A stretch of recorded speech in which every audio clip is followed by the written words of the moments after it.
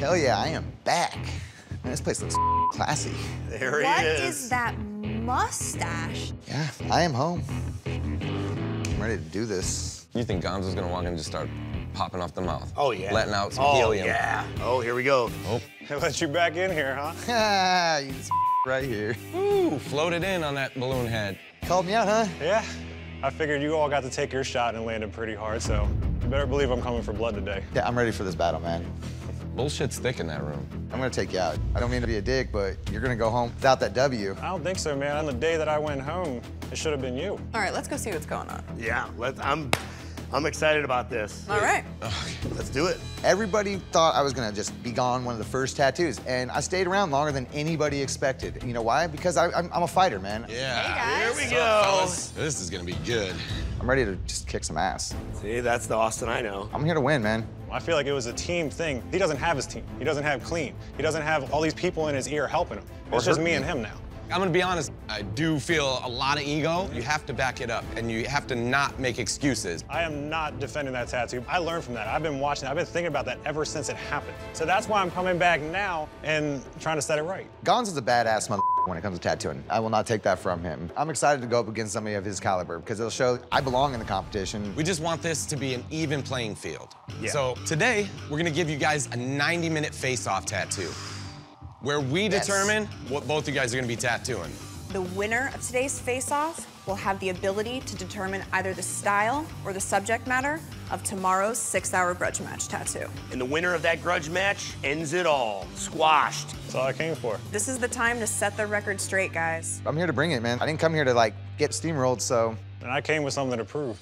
So what do you think we're gonna give him to do? I think we should really test the line work on these guys. That's fundamentals right there in its finest. Let's do geometric. Why don't we do geometric animals? Yeah, like a little geometric animal head. Liners only. Liners only. No curved lines. So you guys have to do 90 minute geometric animal head tattoos using just a liner. Surprise us. Sounds like a little piece of heaven. All right, well, get to work. Let's go. Man, oof, just lines. It's gonna be a tough one. 90 minutes is what I do, Gonzo. I hope you got this, man. I know you do pretty long tattoos. It should be easy for you to draw an animal head. You just do a self-portrait. Only straight lines. Are you good at pulling straight lines? I'm really good at it. Is there any other kind of line to pull? I'm wondering what your line work actually looks like. You're about to find out now. In our second grudge, season 10's master illustrator Matt Buck went home before the lower ranked Katie Rhoden. You know your tattoo robbed me of my rightful shot. but at least I can tattoo. Oh, man. Now they'll battle head to head, artist versus technician. This is one of the coolest tattoos that I've ever done. Your line work was trash. Baloney. This is gonna be a frickin' rumble, dude. Matt was on my team. I would say he's one of the best illustrators to ever hit Ink Master. Katie came out swinging in the beginning of that season too, right? I mean, her first tattoo out of the gate was her best one the whole season. Yeah. They specialize in two completely different opposite ends of the spectrum. Matt's classically trained illustrator. But, Yeah. but when it comes to tattooing, he's inexperienced. Yeah, that plays a huge part because it's a totally different medium. Matt went home. Katie stayed a little bit longer. Let's see the number one ranked tattoo of the day. Congratulations, Matt. Who was number one? Who was the number one pick here? For the first tattoo, when we're all on an even playing field. I think you're full of yourself. I think you're cocky. Your anatomy sucks. How do you know? Well, we don't Does know because not she only draws it? traditional. I don't only do traditional Matt Buck. BS. Do not poke the bear. BS. Do not with me. Don't let Matt fool you. Like, he Yeah. seems quiet, but he's cocky, and Katie is super feisty. So do you think this is gonna get heated? They both just have a problem with each other. It's Yeah. just a mutual grudge. Bagel time. Bagel Time for some nosh. Since season 10, I lost a little bit of hair, a little bit of mustache, and uh, got one of these. That hits the spot. Katie was safe on the day that I went home, which is a load of BS. We were both up for elimination. I was the stronger artist. She let the waterworks flow. I got robbed. I got to bring the bear out of hibernation and show the bear what's what. Matt's just jealous that I made it further than he did. Just because he can draw a little bit better than I can doesn't mean that he can out tattoo me. What is your favorite animal? A Clydesdale. Me being a tattooer, I'm not that good at drawing a horse. Maybe Matt Buck can give me some instructions. I want to go back to this grudge match to prove to Matt that I'm better than him. He's so salty about me beating him the first time, it would just be so much better to beat him a second time. Ooh, Mr. Matt Buck. See what you got, boy? Oh, she's coming in with confidence. Super cool tattoos up here. Looks like the one you got sent home for. Oh, she's calling it out right off the gate. Woo, look at Matt. Who is this new guy? If it isn't Katie, should have gone home before me, Rhoden. Oh, if it isn't Mr. Matt drops the ball buck. You know your tattoo robbed me of my rightful shot. I might have had some issues with mine, but at least I can tattoo. Oh, man. This. Does Matt Buck get angry? Dude, he still does that face when it's angry. Look, he's, he's angry right now. He's He's building up all this rage inside. I've been waiting for this for a while. I'm excited to see what you got up your sleeve. No tricks, just talent. Let's get in there and get this thing going. This time you don't have your friends to back you up, Matt. I didn't need any backup getting the number one draft pick. Oh, man, I can hear him already going at it. Mr. Illustrator, Mr. Know-It-All. Oh, oh well, well. Look who's Hi. back. The world knows that I was robbed of my rightful shot, pretty much my rightful title. Your rightful yeah. title. Yeah, Oh, okay. absolutely. I'm here for vengeance and to set order in the universe again. So are we. Matt is a wonderful illustrator, but I tattoo better than him. It's obvious to all of us there's definitely some unfinished business here, so let's settle the score. Today, you guys are gonna face off against each other in a 90 minute tattoo.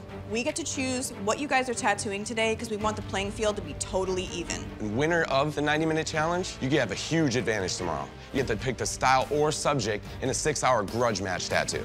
And the winner of that settles everything. Done. No more baggage. I'm down. I'm ready. We need something that both of them can knock out of the park because I want to see great tattoos. I wanna see some good fundamentals. How's about just something timeless? Sparrows. Sparrows, that's it. Bird's the word. Bird's the word. Why? You're not that funny. Stop it. I thought it was funny. So you guys have 90 minutes to do a sparrow, any style, however you want. Just me and you. Well, as long as you don't get any of your tears all over that Oh, tattoo and all over the Unsanitary. judgment. Yeah, yeah, yeah. We know. We know. What are you guys waiting for? We only have Get to 90 work. minutes. Luck, guys. Come on, let's go. I can't wait for this. Oh my God, this is gonna be fire. Sparrows? Oh.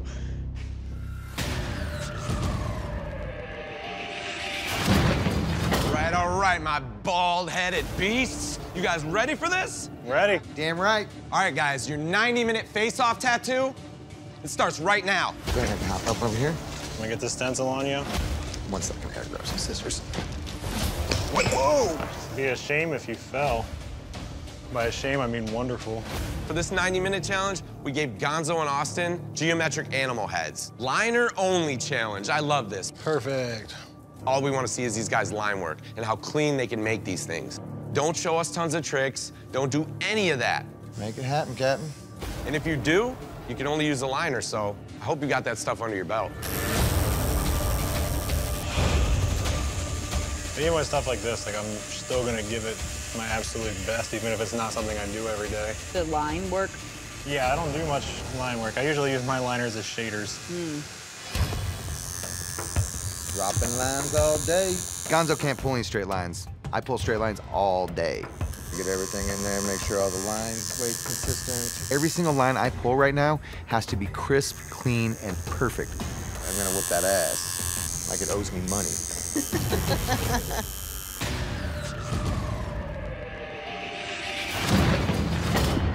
All right, Matt and Katie, you guys ready to set the story straight? Absolutely. Yep. You guys have 90 minutes to tattoo a sparrow, and your face-off starts now. All right, hop on up.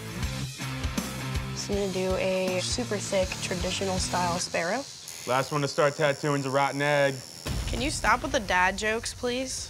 What's taking so long, Katie? Are you uh, waiting for that sparrow to hatch out of its egg, or Why don't you pay attention to your damn tattoo, Matt? so I can multitask? You can multitask. I can poke the skin and poke the bear at the same time. Called taking your time because I'm confident. Dork.